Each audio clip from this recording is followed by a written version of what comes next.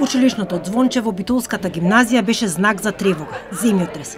На момент страв завладеа меѓу учениците. Брзо се засолнија под клупите, чекајќи повторно да се огласи звончето, кое беше знак дека тлото се смири. Сите полека ја напушти училишната зграда и се евакуираа во дворот. Со ова беше означен и крајот на симулацијата на евакуацијата во случај на земјотрес. Заклучокот на крајот беше дека се помина успешно. Средношколците покажаа подготвеност за брза реакција и го применија сето она што како насоки и совети ги добија на предавањето што предходно ја одржаа инженерите од Институтот за земјотресно инженерство и инженерска сеизмологија.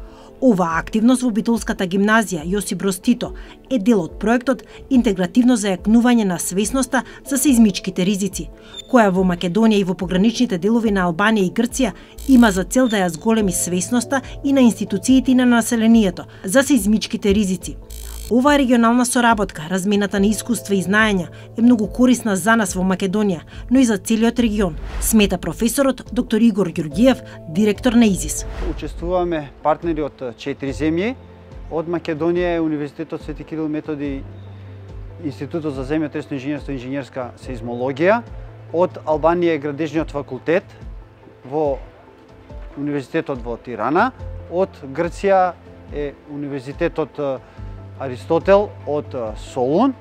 Имаме тука од Италија партнери, тоа е Павија, фондација од Павија ЕУ Центре. Ние сме здружени во овој проект заедно со ДСЗ да ја кренеме свеста на населението во пограничниот регион помеѓу Македонија, Албанија и Грција за однесување на и после тек на земјотрес. Во Македонија подготвеноста за справување со земјотреси и поплави, посебно на младата популација, не е на потребното ниво. Валентина Танасовска од Дирекцијата за заштита и спасување смета дека е необходно ова да влезе во образовните процеси на училиштата. Дали се тие подготвени или не, тоа не можеме со сигурност да го кажеме за ниту еден човек во светот, ниту за една држава дека целосно е подготвена, меѓутоа одговорните чинители во државата кои што имаат од, законски надлежности да спроведуваат обуки во, во оваа фела, работат токму на тоа да се подине свеста кај младата популација, а потоа нели на општеството во целина, а што се однесува до континуираното спроведување на обуките, тоа секако треба да представува еден вид навика сите ни да бидеме свесни понатаму тоа што сме го научиле да го применуваме во пракса. Не е нормално едноставно да се соочиме со катастрофи, но меѓутоа треба да знаеме дека имаме некое предзнање кое што можеме да го примениме за да се заштитиме себе си и тие околу себе. Симулационите вежби како ова и протоколите за постапување при елементарни непогоди се клучни за спасување, вели Звонко Сигмунд, професор на Градежниот факултет во Загреб. Во Хрватска уште се свежи спомените од земјотресите од пред 4 години, во март 2020 година. Два силни земјотреса го погодија Загреб, а 8 месеци подоцна серија земјотреси го потресоа Петриње, од кои најсилниот беше 6,3 степени по Рихтер. What we are used to focus on is actually preparedness. But that, that's actually not the sole purpose or not the sole goal. You have to actually prepare for each stage of, of the resilience or of the recovery, immediately after the earthquake happens, you are helping people to, to, to get out alive, but then the recovery process is something that's very specific, that's very uh, governmentally um, necessary and generally for people as such, but uh, all of those stages of, of situations need to be actually stress tested. You have to have protocols for all of those situations uh, in terms of uh, governance, in terms of regulatory framework.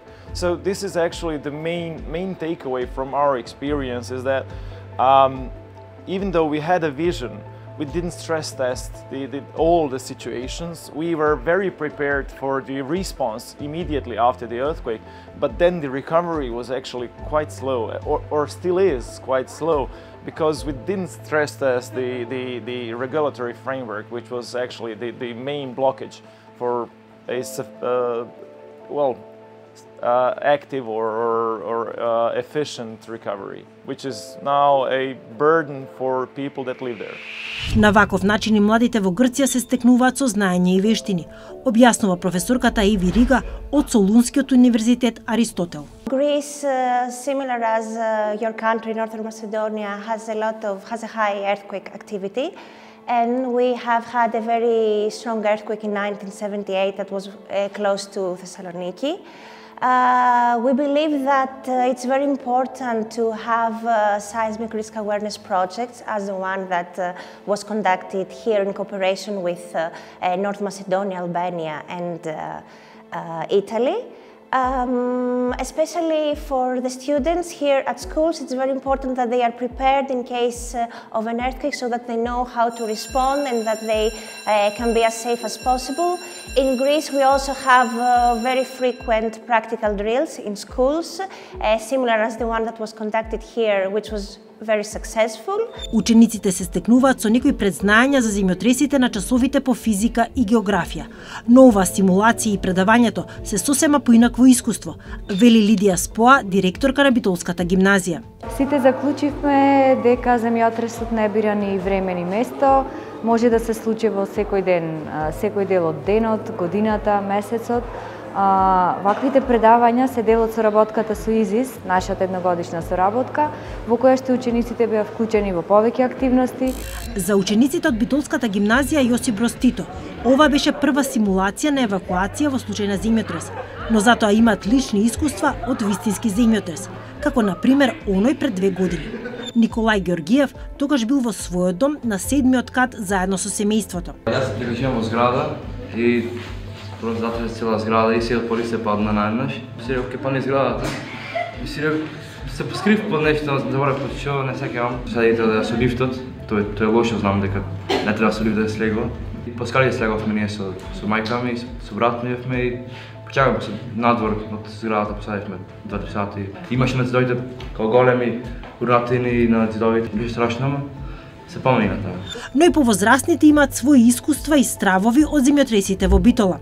Професорката по хемија, Лидија Танасовска, со години не можела да го надмине стравот од земјотресот во 1994 година. Тогаш голем дел од незините сограѓани цела недела ја поминале под ветро небо. Почнавме да излегуваме затоа што бевме во куќа на приземје и единствено во тој момент што ни падна на памет да излеземе надвор кога излегувавме, буквално ходникот не фрлаше на сите страни, не можевме да одиме по права линија од тресењето. Имавме неколку скали да ги поминиме и по скалите исто така не фрлаше лево-десно, излеговме во дворот и одеднаш се се стиша, се до моментот после неколку минути повторно се слуша звук како да тресат авиони, да речам да врват голем звук и уште еднаш имаше јако тресење на земјата и после тоа смирување. Иако технологијата оди напред, сепак нема начин да се предвиди кога ќе има земјотрес. Затоа знаењата и вештините за самозаштита и самопомош се од клучно значење при вакви непогоди. Битола Дебар во Ландови Гевгелија се се измички активни подрачја и неслучајно беа избрани за градови каде што се одржуваа обуките на ИЗИС. Целта на проектот е јакнење на свесноста на институциите, на здравствените власти, училиштата и на локалната заедница во пограничните региони на Македонија, Албанија и Грција.